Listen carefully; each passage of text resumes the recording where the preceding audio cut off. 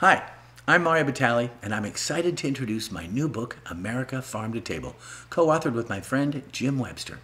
All the recipes in this book are inspired by farmers in appreciation of the incredible amount of work they do to bring food to our tables.